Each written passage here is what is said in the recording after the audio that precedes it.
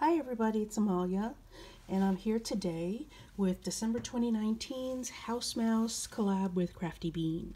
Uh, this is the image that I used today, and I colored them with my Copic markers. I colored each one of the mice, uh, different shades, different groupings of browns, and I also di used different um, flesh tones so these are all the colors that I used.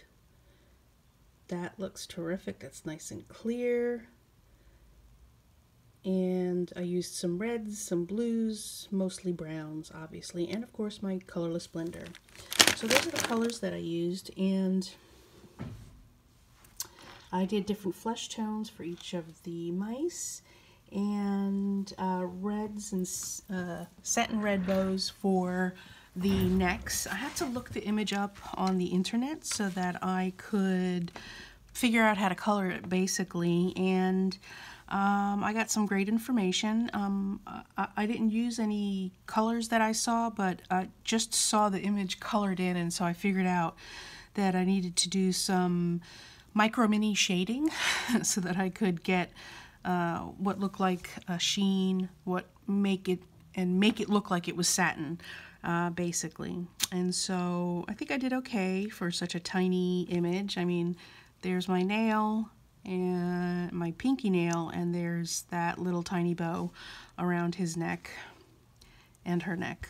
So, um, so yeah, um, the paper is um, Strathmore Visual Journal Bristol Smooth cardstock.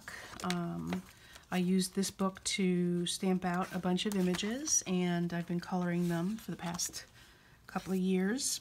Here's um, the test image that I used just to test out how to color the bow, how the colors I chose went together, uh, etc.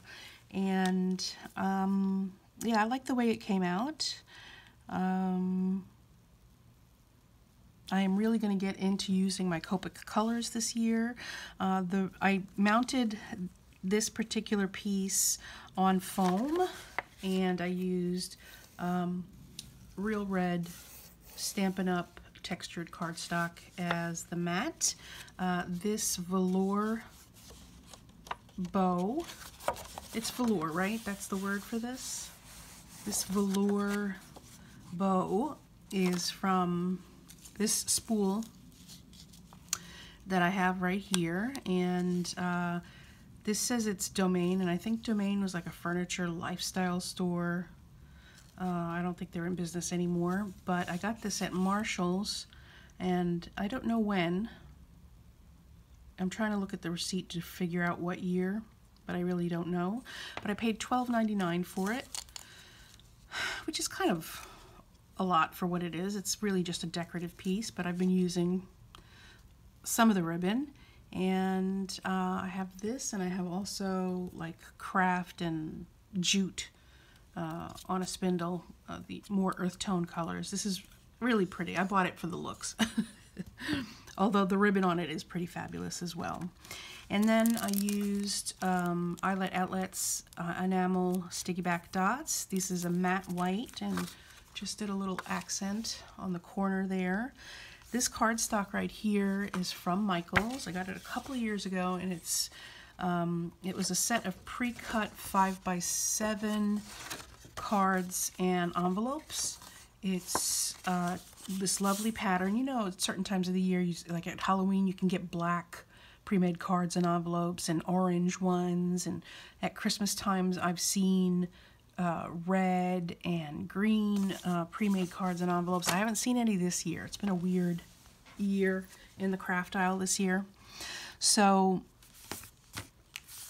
um, so yeah, I got that. And uh, I use about one of these cards a year. So I'll have them that used up in about 20 years.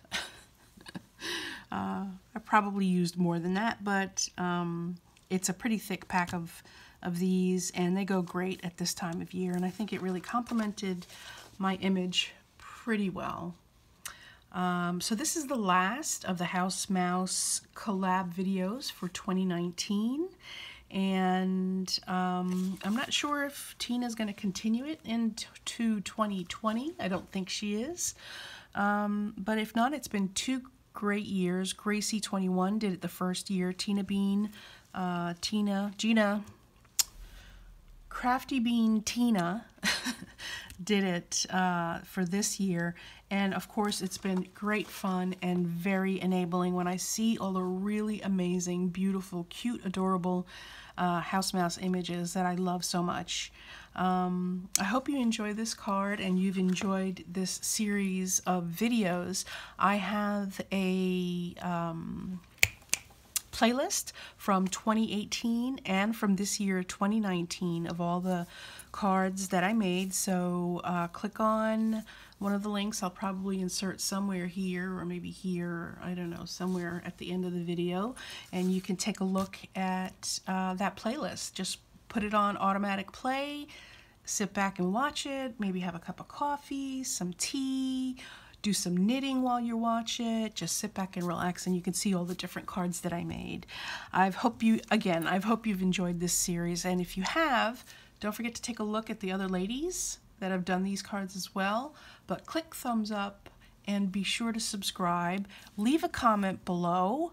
And um, thanks so much, everybody. Bye.